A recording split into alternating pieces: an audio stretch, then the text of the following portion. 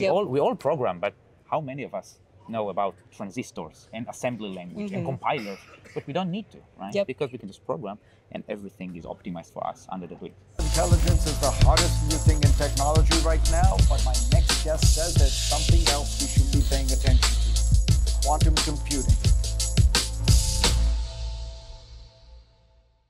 How are you doing? I'm very good. I'm very good. How are you? awesome. So let's introduce yourself. What do you do? I'm Yuval. Uh, I'm the head of research at Q-CTRL, and we are developing all the tools that eventually go to our products. Yeah, so how did Q-CTRL start and what's kind of the overarching goal of the company? So Q-CTRL is six years old company.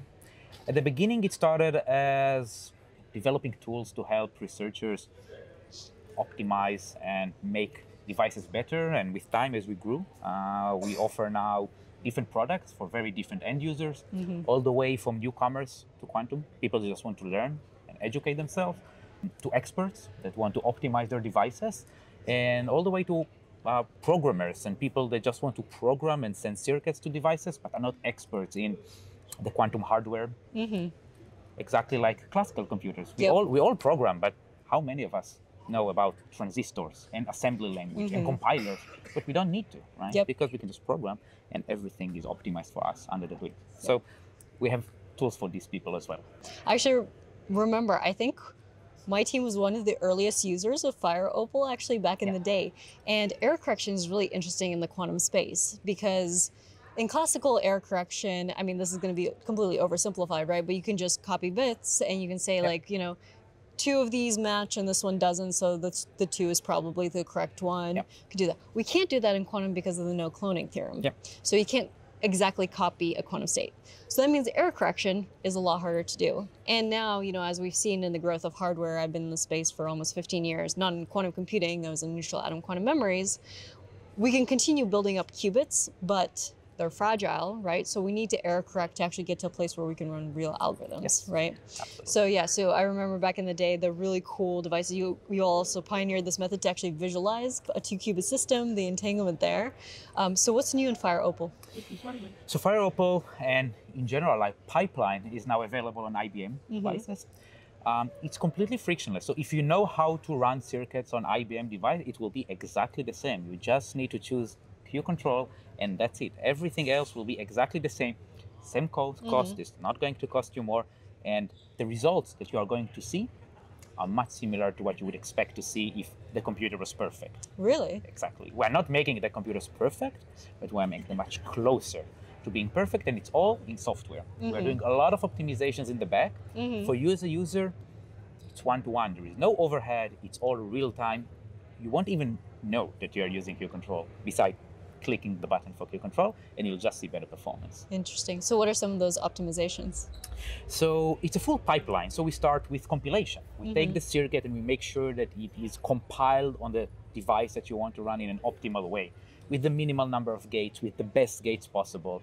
Then we choose layout. Which qubits are going to run your circuits on this big device? Then we optimize the gates, the, the, the way that the gates are defined. Uh, CNOT, X gates, they defined on superconducting qubits as microwaves, on other ions as lasers we really change the pulse shape in order to make them better gates. Um, we add techniques like dynamical decoupling. We uh, do measurement error mitigation to account for uh, errors in the measurement. We are doing a lot of things, and all this in harmony eventually gives you much, much better results. Interesting. So what are you excited about for 2024? Oh, so I think that we can start talking about utility. And I'm, I'm careful, I'm not saying quantum advantage. I think that quantum advantage is a bit far away, mm-hmm. but utility. Starting to solve problems that are not trivial. Until a mm-hmm. year ago, could solve problems that are trivial on my laptop. I Yep. could take like 10 minutes to code that. My laptop wouldn't even sweat. It would just mm-hmm. solve it easily. I think now we're at the point that we can solve problems on IBM devices that I cannot solve on my laptop. Oh, I'm not saying that we cannot, that classical computers cannot solve Right. Mm-hmm. them, but I cannot solve them on my laptop. So that's already one step ahead. And I think that with this progress, yes, in a few years, maybe not even that many, we'll be able to solve some set of problems that classical computers cannot solve. We demonstrated on IBM uh, a QAOA implementation of 80 qubits solving a graph problem, a max cut problem on a non-generic graph, not something that is tuned for the IBM devices, a completely generic graph and we solve it correctly using a QAOA that ran on the device without simulation, without cheating, without using classical optimizer. From zero knowledge on the quantum device, we solved this 80, cube, uh, 80 nodes graph Mm-hmm. problem. So that's a non-trivial problem to solve. So when you're looking at the results, like you mentioned, we have like really good performance. What are you actually looking for? So, of course, ideally, we want that the results that we get from the device are what we expect. A perfect device, a mm-hmm. perfect device with no T1, with mm-hmm. no gate error, with no errors will get us. Of course, we know that we, we, can't, we cannot get there. Mm-hmm. There are some errors that error suppression alone cannot correct, and we must use error correction for that. But we want to make sure that we bring the device to this point that the only limiting factor are these only few errors that we cannot really correct, and then we can use error correction on top of mm-hmm. that to correct them. Mm-hmm. Using error correction while all these other errors exist there is equivalent of turning an air conditioner where all the uh, windows and doors are mm-hmm. open. You just work very hard to fix things that you don't need to. Once you cancel or suppress all the errors that you can suppress using software, using better design, using better gates, then the last mile should be error correction. And the overhead that you'll pay in this case will be much, much lower than if you'll try to do it right now without error suppression at all. So then also you'll have an educational product called Black Opal. So I did a video about that recently actually and went through some of the fun features. And it's funny you talked about graphs, right? Because traveling salesman Yep. was a big one there. And uh, that was one of my comments as well, where I was like, well, this looks really trivial with seven cities, right? You Exactly. kind of figured that out. But it has a lot of really cool visual features. I've noticed it's uh, really great for people who really want to learn about quantum but not get overwhelmed by the math. What's the, the approach you all are doing with Black Yeah. Opal? Yeah. So we, we notice that even when we talk with technical people, but outside of the quantum world, they understand that, that there are problems of interest that they care about that they can use quantum computers to solve. But the barrier to even start thinking about it is just too high. Yeah. How do they familiarize themselves? So sure, they can go and do some quantum course or read some quantum book, but that's very hard for people that are not from a physics background. And some of them are technical, people from computer science, from engineering, but just no quantum background.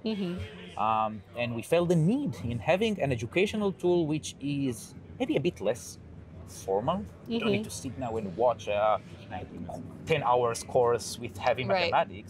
You can just use it whenever you have time. So it's a very interactive, uh, very easy to use tool with over 400 lessons. Uh, if you have five minutes, you can use your phone and just learn about one specific small topic. Yep. And it really from the from the very beginning of what is a wave and what is a superposition, and all the way to how to write a small circuit, how to program a small circuit on an IBM device or custom, uh, uh, how to write a custom file. So yeah, it's just great way to introduce yourself to this concept, and hopefully it will lower the barrier for people outside of the quantum world and that's what we want. We really want to bring people outside to our world because if it will just stay our bubble and we'll just talk with other vendors and other people from the quantum computing, that's not the way to grow. Right. Yeah, Mike called it the Duolingo Yeah. Of uh, quantum Exactly. computing. That's you can go through these lessons. Yes. They're pretty short and uh, accessible. To your point, I think one of the big things that we're seeing, right, is we're in the era of punch cards with the computers, but we're actually building up these higher level systems earlier on. And one of the things is like, as physicists, you know, we don't have the domain expertise in all these other applications. Yes, we have some ideas. We have the ideas on pharmaceuticals, we have the ideas on financial applications, but there's probably so much else out there, and we have to teach those domain experts how to use these computers. Exactly.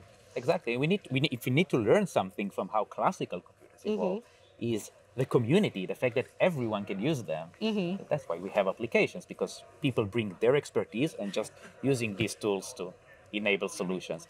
And as you said, we are we are some of us are physicists. We don't we don't really know how to do these things, but part of what we are trying to do at Q-CTRL is to use people with a lot of experience from product and from user experience to try and lower the boundaries and lower the friction for people to start using these machines. Mm-hmm. Um, and eventually, as a community, we'll need to introduce more abstraction. People mm-hmm. don't like to think about quantum circuits. Mm-hmm. That's like assembly language for, Right. for computers. That's hard. Yeah. We must abstract that. We must make it much more accessible for people that are amazing programmers. You still need to know how to program. When you Right. program, you learn, you learn algorithms, you learn how to program, you learn how to build an algorithm. People will still need to know that. but you don't need to be a quantum expert in order to do that. Maybe Mhm. it will be a course in computer science, how to do quantum algorithms at one point. But that's it. Beside that, it will just be the same level of abstraction that we have. Um, it will be like, I want to know Python, I want to know C++, I want to know Java, I want to know how to code, how to program a quantum Mhm. computer. It will be another course. Right. So right now you all are integrated with IBM. Are there any plans that you, you can tell me about uh, integrating with other hardware systems? So soon, for sure. Uh, Okay. we are working with m- many other providers. We really don't want to choose. We want to be on all platforms. And does this apply to different types of hardware modalities, or is it really focused on superconducting?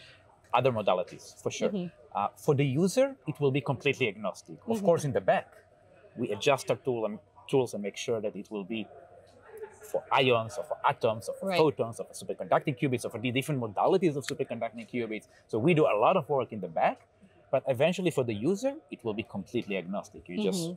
Give us the input circuit or algorithm and we'll just run it and make sure that it will be as close as possible to a noiseless computer. Right. And then also, Q-CTRL has gotten into quantum sensing Sure. in the last year or two, I think. Even a bit more, but yes. Well, a bit more Yes. from the outside world. Um, so, what are you doing there? So in some sense, we are using the same ideas that we implement in, in quantum computing to sensors. So quantum sensors is not a new thing. We know that we can use the rules of quantum mechanics. We can use atoms and ions in order to measure, to measure magnetic field, to measure acceleration, to very, very, very high accuracy. The main problem is that most of these uh, uh, devices, they work perfectly in the lab Mm-hmm. where everything is shielded and there are no noises. But if you have a device now that you want to put on a vessel, on an airplane or a boat, Mm-hmm. that's not a lab. Mm-hmm. And when you put these devices in these environments, they just don't work. Mm-hmm. And we use our software to integrate that with these tools and make them work at the same performance that you can get from them in the lab when you put them on airplanes, when you put them on boats. And these things are very relevant to many industries from defense uh, to communication, Mhm. transportation. So